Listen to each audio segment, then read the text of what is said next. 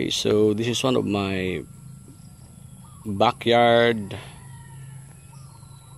hobby to to pet goats and wild boars. Ah, that's part of my kumikitang kabuhayan. Teng, ito na yung bukid. Nabakuran na natin.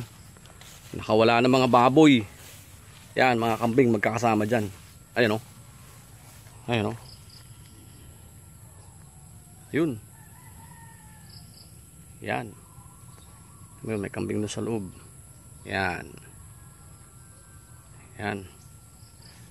Maganda. Interlinks hanggang doon. Kulong. Hanggang doon kay Tong. Yan. Halamanan na lang ang kulang.